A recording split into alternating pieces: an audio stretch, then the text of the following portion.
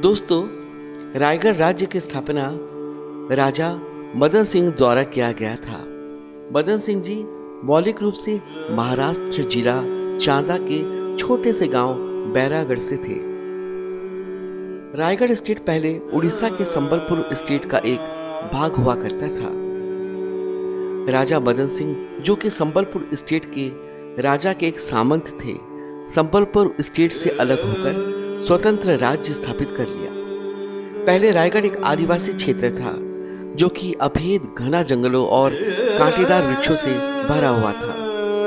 कांटेदार वृक्ष जो यहाँ बहुत आयत पाए जाते हैं, जिसे राय वृक्ष कहा जाता था। इसीलिए राजा ने इस स्टेट का नाम रायगढ़ रखा। अंग्रेज़ों के दमनकारी और कलाओं के प्रति बेरुखी के कारण समाज में नृत्य, कला का स्थान गौण हो चुका था। ऐसे संकट और विकराल स्थिति में मध्य प्रदेश, जो अब छत्तीसगढ़ है, इस छोटे से स्टेट रायगढ़ में एक संगीत का मसीहा का जन्म हुआ, जो सही मायने में नृत्य, संगीत, साहित्य के अवतारी पुरुष थे। राजा चक्रधर सिंह जी का जन्म रायगढ़ रियासत में बहुत धार्मिक और संगीत पारखी राजा भूदेव सिंह जी के यहाँ द्वितीय पुत्र के रूप में 19 अगस्त सन 1905 शनिवार को हुआ था। रायगढ़ के आठवें राजा श्री भूदेव सिंह जी के पुत्र कुंवर चक्रधर सिंह जी के ज्येष्ठ भ्राता कुंवर नटवर सिंह जी एवं छोटे भ्राता कुंवर बलभद्र सिंह जी थे। गौड़वंशीय महाराजा चक्रधर सिंह जी का बचपन से ही नृत्य संगीत में बहुत ही लगाव था। इनका जन्म गणेश चतुर्थी के पावन दिन में हुआ। इसलिए पिता राजा भूदेव सिंह जी प्रतिवर्ष गणेश मेला का आयोजन करते थे।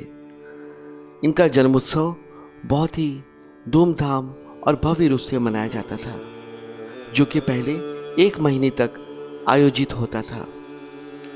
राजा चक्रधर सिंह जी का प्रारंभिक शिक्षा रायगढ़ के ही मोती महल में हुई थी। सन 1914 में ठाकुर लक्ष्मण सिंह के देखरेख में राजा चक्रधर सिंह जी के रायपुर के राजकुमार कॉलेज में दाखिल करवाया गया था। तब चक्रधर सिंह जी महज नौ या दस वर्ष के ही थे। Raja Chakradhar Singh ji hockey, football, shooting, tennis के अच्छे खिलाड़ी थे।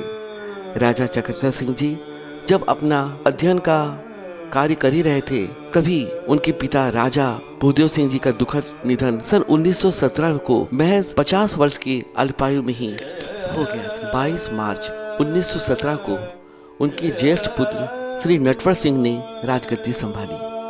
सन 1923 को प्रशासनिक ट्रेनिंग के लिए राजा चक्रधर सिंह मध्य प्रदेश के छिंदवाड़ा में जाना पड़ा। कुशलतापूर्वक ट्रेनिंग पूर्ण करके रायगढ़ लौट आए। मगर सन 1924 को मात्र 33 वर्ष की अल्पायु में ही नटवर सिंह जी का आकस्मिक मृत्यु हो गई।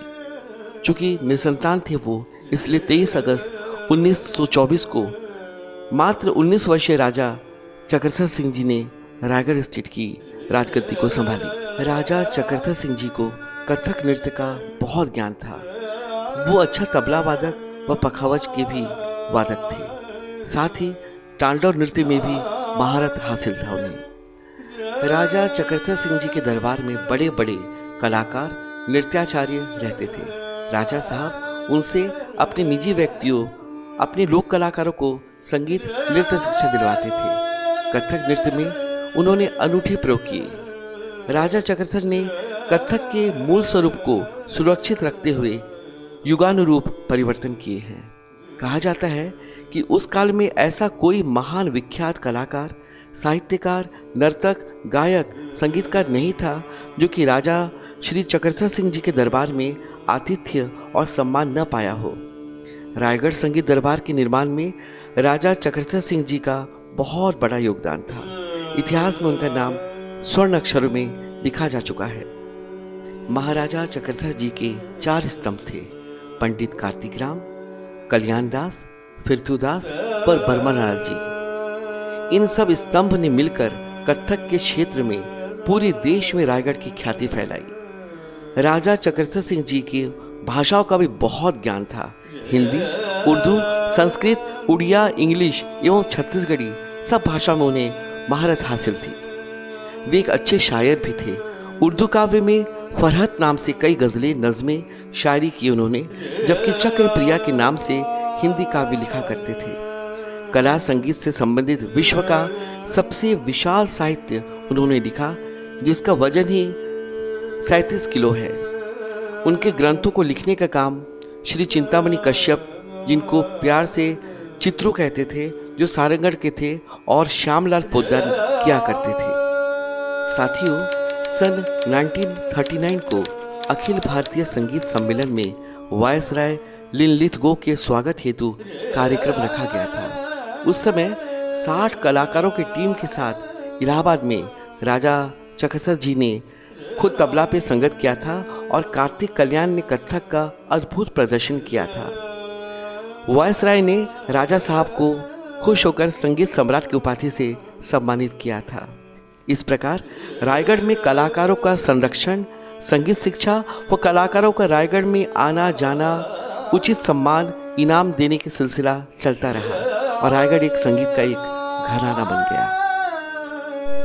राजा चक्रधर साहब के द्वारा लिखे गए कुछ ग्रंथों के नाम नृत्यम सर्वस्वम काव्य कानन माया चक्र, रत्नहार रम मिरास जोसे फरहत, अलकापुरी, निगारे फरहत बैरा गढ़िया राजकुमार मृगनैनी तिलस्मी, प्रेम के तीर, मूरज परन पुष्पाकर, ताल तोई निधि, राग रत्न मंजूषा और ताल बल पुष्पाकर फिर आया वो दिन जिसका इंतज़ार हर भारतीयों को था। दिन था शुक्रवार 15 अगस्त उन्नीस और भारत को आज़ादी मिल गई। रायगढ़ के महाराज चक्रधर सिंह जी सुबह सुबह नटवर स्कूल के प्रांगण में तिरंगा झंडा फहराकर आज़ादी का महापर्व राजतंत्र की जगह प्रजातंत्र ने ले ली। आज़ादी के इस दिन के ठीक तिरपन दिन बाद सात अक्टूबर उन्नीस को वो मंगलवार का दिन सारे परिवार, रायगढ़ शहर और उनके असंख्य संगीत रसिकों के लिए अमंगल साबित हुआ। क्योंकि इसी दिन हृदय खास से मात्र बयालीस वर्ष के अल्पायु में राजा साहब ने इस आज़ाद भारत को अलविदा कह दिया। संगीत जगत के लिए राजा साहब के अवसान का दिन दुर्भाग्यपूर्ण व काला दिन था।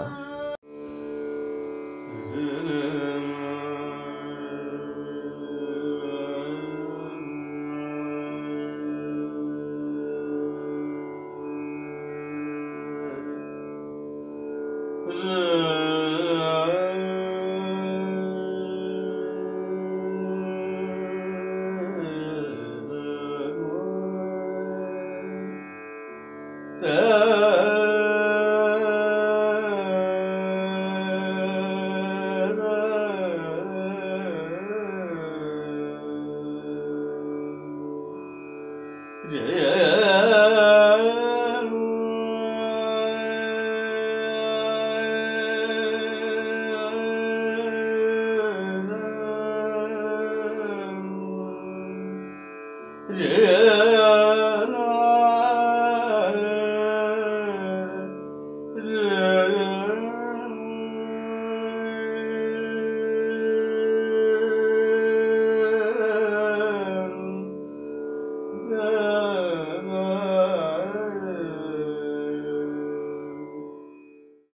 नृत्य के अवतार पुरुष राजा चक्रधर सिंह जी नृत्य कला, साहित्य के लिए और भी बहुत कुछ करना चाहते थे। मगर इतने कम समय में उन्होंने जो कुछ किया, उसे रायगढ़ शहर ही नहीं, बल्कि संगीत जगत कभी भूल नहीं सकता। ये तो विदित है कि राजा साहब ने कई अनमोल ग्रंथ, बंदिशों, काव्य परन की रचना किया। मगर ताल, बल पुष्पाकर के कुछ पन्ने ही उन्होंने लिखा था। यह ग्रंथ पूरा न कर पाने का एक दुख एक मलाल उनके मन में ज़रूर था। उनकी इस शायरी से इस बात का अंदाज़ा लगाया जा सकता है कि थक करके सो गए थे साहिल के आसपास। थक करके सो गए थे साहिल के आसपास। अरमान उठ रहे थे मेरे दिल के आसपास। अरमान उठ रहे थे मेरे दिल के आसपास। सन 1984 में सांसद केयर भूषण के मार्गदर्शन पर चक्रधर ललित केंद्र की स्थापना की गई।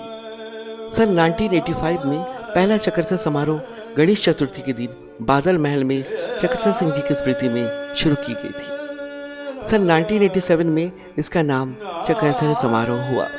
मध्य प्रदेश सरकार मात्र दो दिनों की कार्यक्रम आयोजित करती थी, बाकी आठ दिनों का आयोजन स्थानीय कलाकारों द्वारा किया जाता था।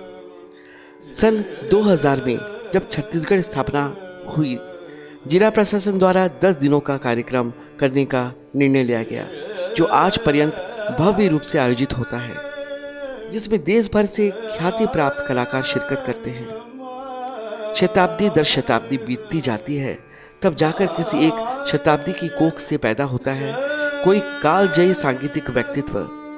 संगीत मर्मज्ञ राजा चक्रथ सिंह जी ऐसे ही विशिष्ट विलक्षण सांगीतिक व्यक्ति के धनी और कलाकार की नरेश थे। उम्मीद है आपको मेरा यह प्रयास अच्छा लगा।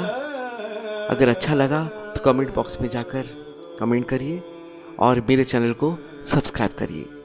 नमस्कार, जय छत्तीसगढ़, जय भारत।